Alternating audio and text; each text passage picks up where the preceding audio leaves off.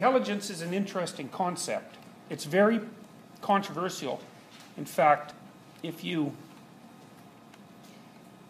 One of the things that continually happens over and over again in psychology is that psychologists discover all sorts of new kinds of intelligence.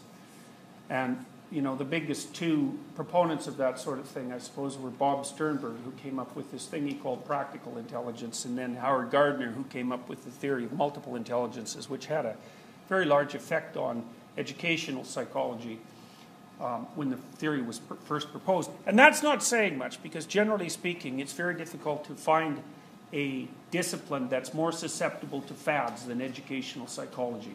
And as far as I can tell, generally speaking, each fad is worse than the previous one.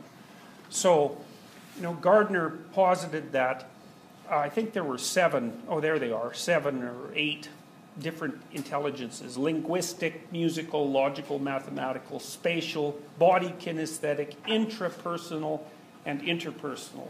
And people talk about emotional intelligence and they talk about practical intelligence. And as far as I'm concerned, all of that's complete rubbish.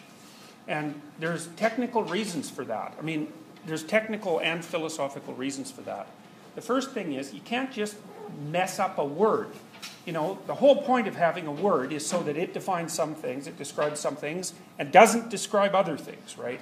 And so you can, you can make the word intelligence account for whatever you want. So you can say that the ability to dance is a form of intelligence. but the problem with that is you blur out the word so badly you can't tell what it means anymore. And so, and I would also point out, we had perfectly good words for those major intelligences. We called them talents.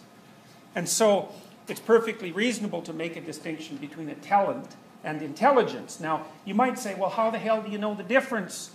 Like, if, if things look similar to some degree, then how do you know if they're the same or different? Well, that's exactly what you do when you do the construct validity process. So let's say you rated a number of people on their dancing ability, and then you rated a number of people on their ability to multiply two digit two two digit numbers in their head quickly.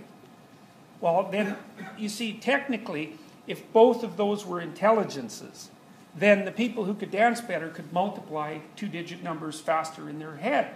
And they would be slightly positively, sorry. See, that's what happens when I don't have any Diet Coke. so, anyways, if intelligence was the right word to subsume both of those, then what you'd see is there would be a high correlation. The people who were good dancers would also be the ones who could multiply most rapidly. And I mean, multiply in their head. Um, but, that, but you're not going to be able to extract out a single factor like that. It's just not, it's just not the case that those things associate like that. So, for something to be one phenomena, the things that it. Obviously, I've talked too much this semester. All the things that are subsumed under that definition have to be correlated and highly correlated because otherwise they're not the same thing. It's the definition of the same thing. Now, IQ is a very peculiar construct, a very unique construct from a psychological perspective, but also more generally from a social science perspective, because IQ has the most predictive validity of anything ever discovered in the social sciences, period.